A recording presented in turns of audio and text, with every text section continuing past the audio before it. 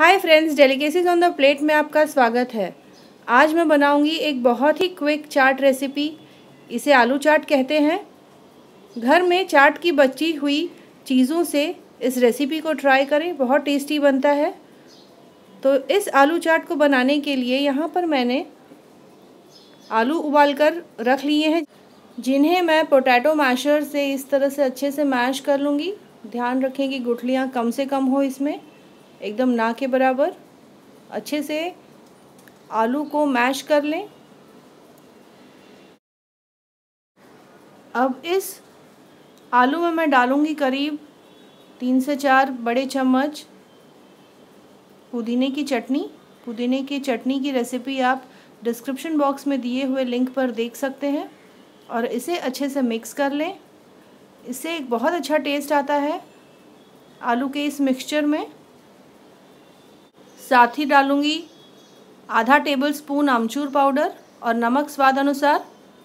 इनको भी अच्छे से मिक्स कर लें।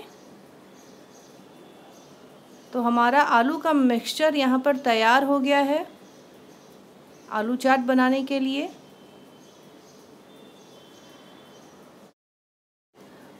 आप चाहें तो थोड़ा सा इसमें पानी पूरी का बचा हुआ पानी भी डाल सकते हैं जिससे कि ये मिक्सचर थोड़ा और सॉफ्ट हो जाएगा, ये ऑप्शनल है। अगर आपके पास नहीं है तो आप इसे स्किप कर सकते हैं।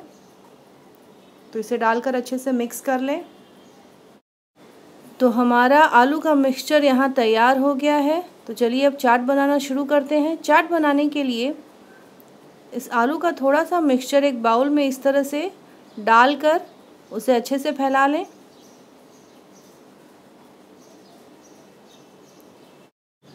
यहाँ आप देख सकते हैं कि मैंने आलू को इस बोल में अच्छे से फैला लिया है। अब इसके ऊपर मैं चटनी डालूँगी। तो यहाँ पर मैंने तीनों चटनी ली हुई है। सबसे पहले मैं हरी चटनी डालूँगी। अपने टेस्ट के हिसाब से आप इसमें चटनी डालें। हरी चटनी के बाद लाल चटनी और फिर आखिर में इमली की चटनी इस पर डाल लें। ये इसी वक्त दिखने में कितना टेम्पटिंग लग रहा है।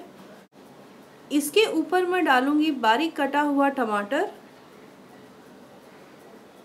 तो ये सारी चीज़ें आपको जितनी क्वांटिटी में पसंद है, उस हिसाब से आप डालें। फिर बारीक कटा हुआ प्याज।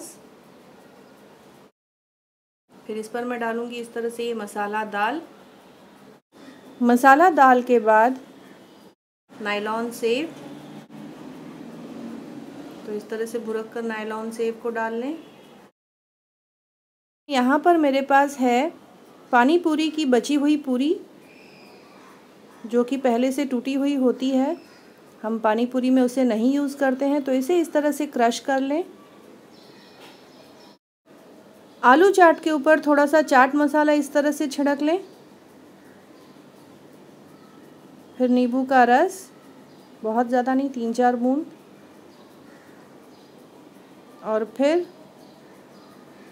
इसके ऊपर मैं डालूँगी पानी पूरी की जो पूरी हमने क्रश करके रखी थी उसे।